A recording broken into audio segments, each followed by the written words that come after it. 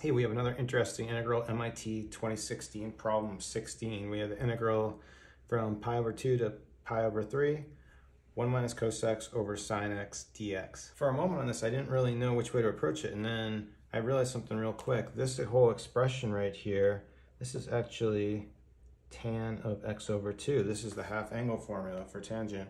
But before we go ahead and integrate tan of x over 2, let's just show why these two things are equal.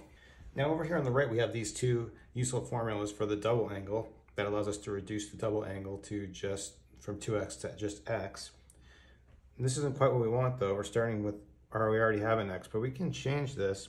If you just substitute in here, everywhere you see an x, if we substitute in an x over 2, we get a new formula just doing this side substitution because here these twos are going to cancel and now we have a formula for sine x and cosine x to transfer this into um, the half angle. So I'm just going to take these values. This, just to be clear, this is my cosine x and this is my sine x. So let's just use these values and plug in here to transform this.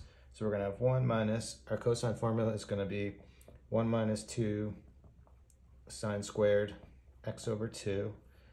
Sine x, we're going to use this one, 2 sine x over 2 cosine x over 2. Now in here, when we distribute this minus sign, 1 and a 1, that's just going to be 0. We'll distribute in this minus sign on the sign, and we'll have 2 sine squared x over 2. We'll just copy this down. Next, I can cancel my 2's.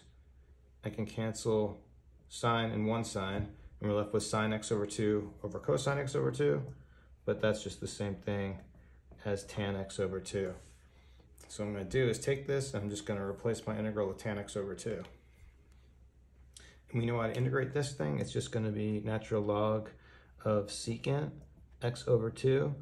If we put 1 half in the denominator, we get a 2 out front here. And then we just need to evaluate this from pi over 2 to pi over 3. Then let's evaluate this. We have bring our 2 out front. We're going to have natural log we put pi over 2 and divide by 2, we're going to have secant pi over 4. This is in the first quadrant, so I'm just just drop the absolute value as we can see that that's going to be positive. And then minus natural log secant pi over 3 divided by 2 is pi over 6. Evaluating this, we're going to have our ln secant at pi over 4, that's going to be 1 over cosine pi over 4. Cosine pi over 4 is square root of 2 over 2.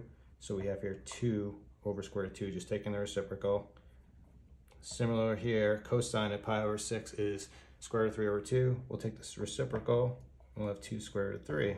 Then I can just take this, we'll have our 2 out front, write this as a fraction. We'll, use, we'll combine these with the property of the logarithm and write this as 2 square root of 2 over 2 square root of 3. These 2's are going to cancel. So then we're almost there. We just have to notice that we if we were dividing by 1 over square root of 3, the square root of 3 is going to come in the numerator. We're going to have 2 ln square root of 3 over 2. But we can take this 2 and bring it here as an exponent and square this. Square root of 3 over 2 squared. So for our final answer, we're going to have ln 3 over 2. That's it. Thank you for watching. Please like and subscribe. Have a good day.